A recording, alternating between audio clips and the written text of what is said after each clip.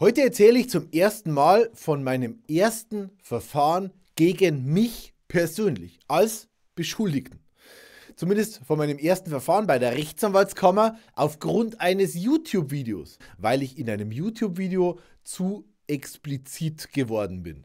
Und ich erkläre euch genau, wie es dazu gekommen ist und was in dem Fall vorgefallen ist und warum ich es heute ganz genau so wieder machen würde. Der Fall spielt vor ein paar Jahren.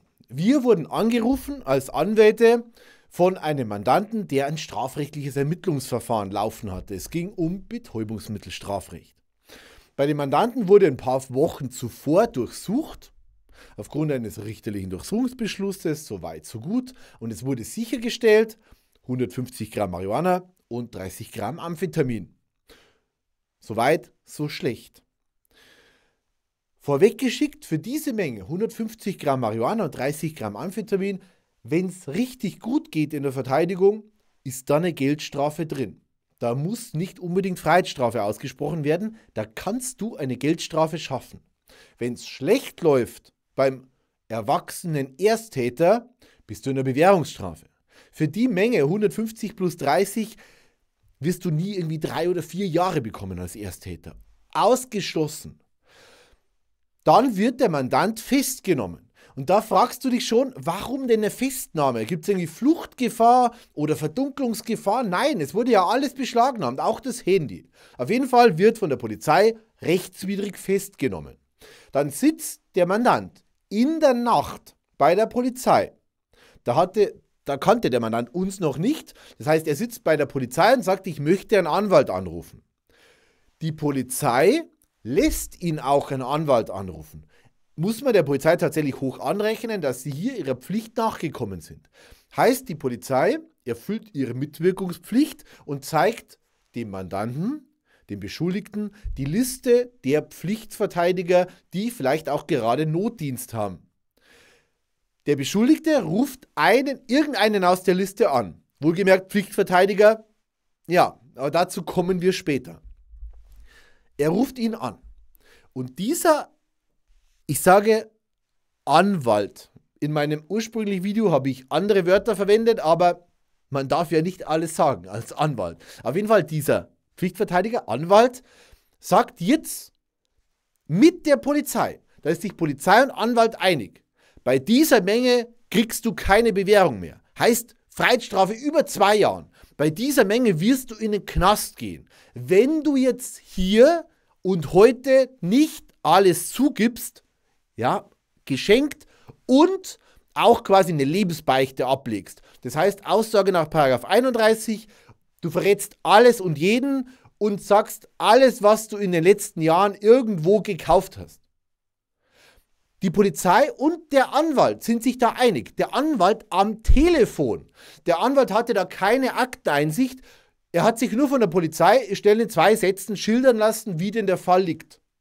Und sagt dann, lieber Beschuldigter, mein Mandant, du musst jetzt alles zugeben und eine Riesenaussage machen.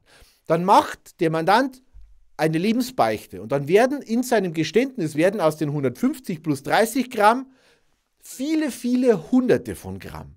Eine Katastrophe. Mit diesem Fehler macht der Anwalt aus einer möglichen Geldstrafe eine Bewährungsstrafe. Und dann wird's, der kriegt dann nicht mehr eine kleine Geldstrafe, sondern bist du in ein, eineinhalb Jahren auf Bewährung. Ein gigantischer Fehler. Der Fehler 1, jetzt mal von Paragraph 31 abgesehen, der Fehler Nummer 1, der Riesenfehler, er rät seinen Mandanten zu einer Aussage, ohne die Akte zu kennen. Der lässt sich nur von der Polizei kurz schildern, was ist passiert und sagt dann am Telefon, ja, das machst du so und so. Ohne Akteninhalt machst du keine Aussage. Punkt. Das ist eine Grundregel und die muss jeder kennen. Die muss jeder Anwalt kennen. Du lässt deinen Mandanten nicht eine Aussage machen, ohne die Akte zu kennen. Davon gibt es keine Ausnahme. Genauso wie wir immer in unseren Videos dazu raten, immer die Aussage zu verweigern, rätst du auch, wenn du mit deinem Mandanten telefonierst und der sitzt bei der Polizei, ihm nur genau eins und das ist die Aussage zu verweigern. Davon gibt es keine Ausnahme. Erst recht rätst du deinem Mandanten nicht dazu, aus 150 Gramm und 30, die sie sichergestellt haben, mit einem Geständnis viele hunderte Gramm zu machen, die die Polizei niemals erfahren hätte.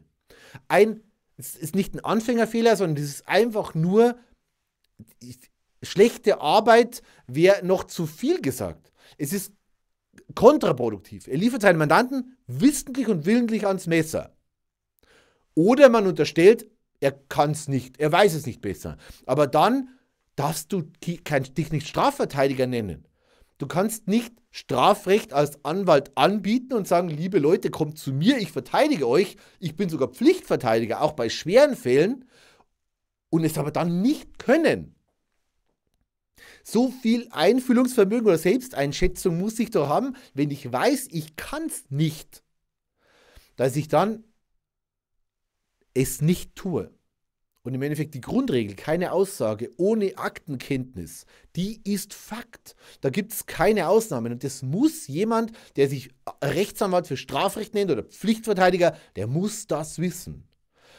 Und auch die Polizei muss es wissen. Und die beiden, die Polizei und der Anwalt, liefern den Beschuldigten ans Messer. In Kooperation.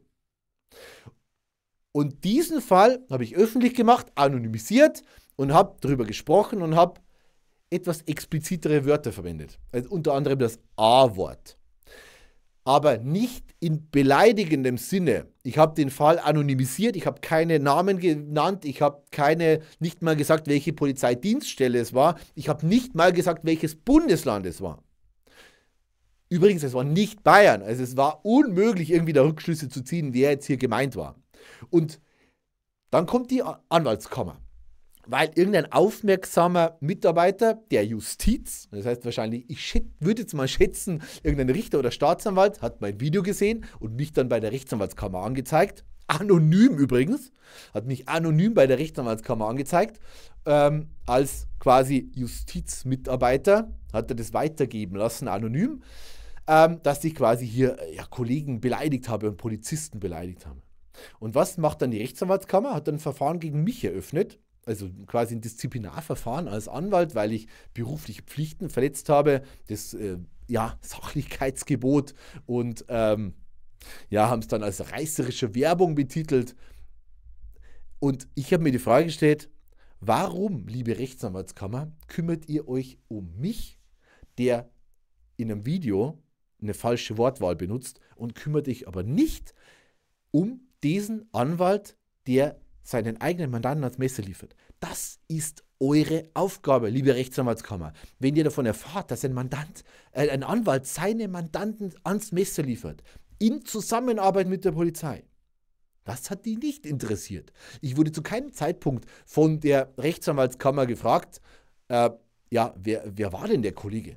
Wer ist denn dieser Anwalt? Dem wollen wir nachgehen. Nein, es ging nur darum, dass ich nicht in YouTube be beleidigende Wortwahl verwenden darf. Und da, ja, das war so auch ein Anfang meiner, meiner YouTube-Karriere und hat mich im Endeffekt noch weiter angespornt. Ich werde versuchen, ich gelobe Besserung, ich werde versuchen, weniger drastische Worte zu benutzen, äh, kann es nicht immer versprechen. Ich werde aber vielleicht meistens keine beleidigende Wortwahl verwenden. Hoch und heilig versprochen. Wenn ihr euch für Strafrecht interessiert, gerne folgen. Demnächst mehr.